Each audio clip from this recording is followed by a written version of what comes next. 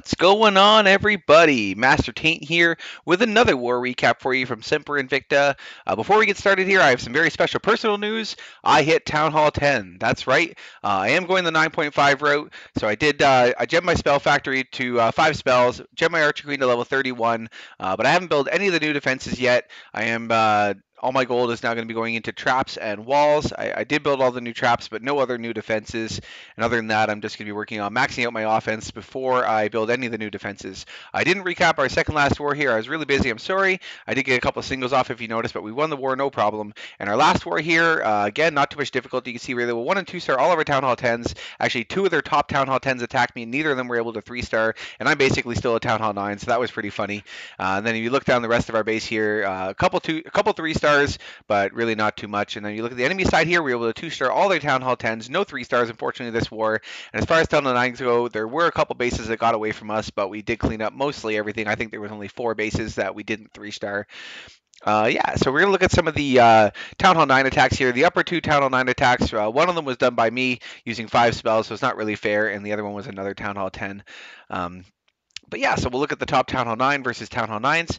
Uh, two golems come in the bottom here with three wizards in behind both of them. That's going to be able to clean up the entire funnel here. Archer Queen goes in as well, and some wall breakers get him into this compartment with the cannon. You can see it's one big long compartment at the bottom here, so this golem will walk up. Uh, he's not going to get focused. If it was two separate compartments, the golem wouldn't walk up towards it. Uh, he would stay attacking that mortar until it was destroyed. But uh, yeah, Bad base design means uh, easy to get in.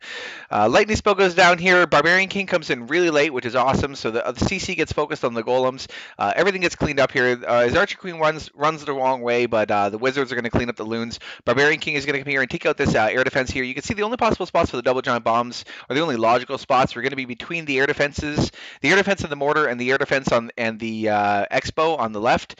And so now all the pathing to those double giant bombs has been cleared out. He knows his hogs are going to path around the top side of the here. So he drops a bunch on the uh, left top and a few more on the back right side. As soon as those Teslas popped up, drops a heal spell down just to make sure that um, the hogs didn't die. Teslas can really do uh, a, good number to hogs, uh, but under a heal spell, yeah, they're pretty safe.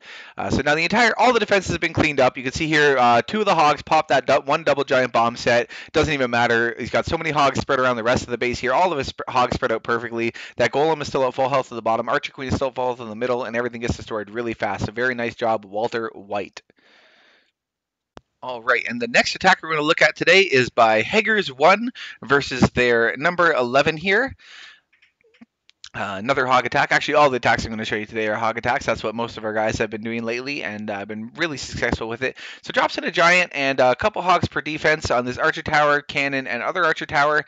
Uh, it's a pretty expensive lure if you think about it, but he does get out three of the point defenses uh, right off the bat. Doesn't have to worry about them later on. They're not going to mess up his pathing, and he also gets out uh, at least one spring trap there that I saw. Uh, this wizard at the top here, unfortunately, isn't able to take out that dark elixir drill. That would have helped him clean up the funnel a little bit faster, a little bit better but it is far enough away that it shouldn't really affect. Uh, drops in uh, two witches, his archer queen, and two wizards at the top here to take out the enemy CC, which was uh, a witch, a loon. All their CCs are basically the same: a witch, a loon, a couple wizards, and some archers. Um, it's always best if you vary up your CCs because as soon as uh, you notice that everything is kind of on the same thing, it's really easy to know what you have to bring to take it out. It's always best in your clan to have you know a few dragons, a few witch, a few wizards, some maybe even all witches or wizards. You know, it's, it's best to vary it up, have everything uh, going uh, different. Like everyone should have a different CC. Uh, Barbarian King gets dropped in really late here. It's not as important when you've already lured the CC, but he wants to make sure he gets um, uh, all the all the uh, defenses are attacking the uh, golems here and not his Barbarian King. Ar- Archer Queen jumps out to meet them, pops his one double giant bomb location, which is really awesome, and his hogs are already making their way around the other side of the base here. Uh, the way they're going to come across that other double giant bomb set, which is between the expo and the air defense here, isn't really going to matter because uh, of the air sweeper there. That air sweeper is actually really badly placed because it's going to cause his hogs uh, that they're not all going to move towards that expo. Some of them are going to move towards the air sweeper, and he's not going to lose uh, too many of his hogs. Drops in a giant at the bottom here to tank these defenses while the hogs move over. Unfortunately, when that Tesla pops up, the hogs uh, stutter for a little second, and the giant dies before the hogs can get over there. But this heal spell goes down uh, and takes it out. So can see a couple of the hogs jumped up towards the top here to take out that uh, air defense. Luckily, one of the golems had already popped one of the giant bombs, so uh, they're not going to double pop the bombs. Drops the heal spell down, so the hogs that moved up to the top are under the heal spell now. The hogs that cleared out the bottom are now going to come up under the heal spell, and all the defenses are going to get cleaned out. A couple uh, spring traps go off, but doesn't even matter.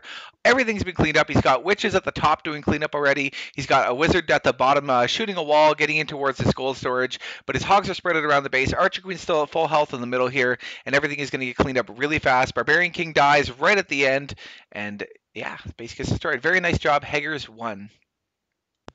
All right, and the uh, last attack we're going to look at today is by moocow versus their number 12. Uh, we did have a lot of really cool attacks here, but uh, I did want to show some of the top Town Hall 9s. These are some pretty cool bases. Although this is the General, uh, the General is generally a very bad base.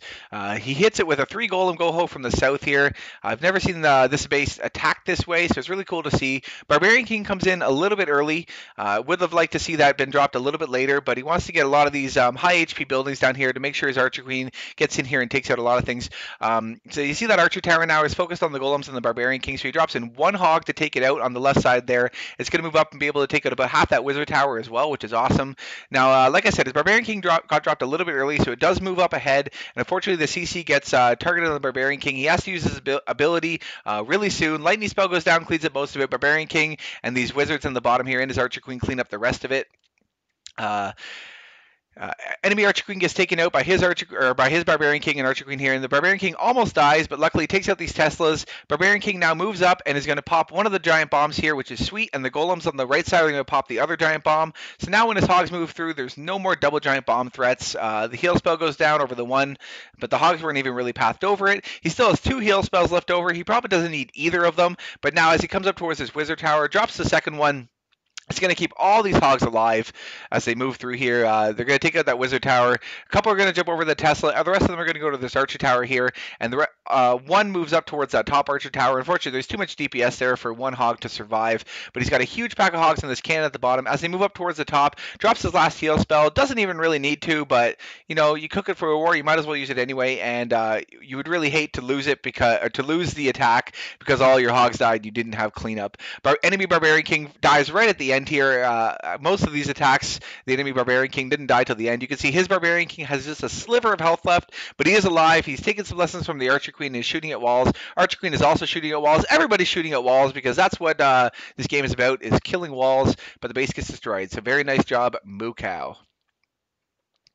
All right, everybody. Well, there is your war recap for you. I hope you enjoyed it. This is Master Taint signing off, saying think smart, raid smart, and I will see you again next time. Bye bye.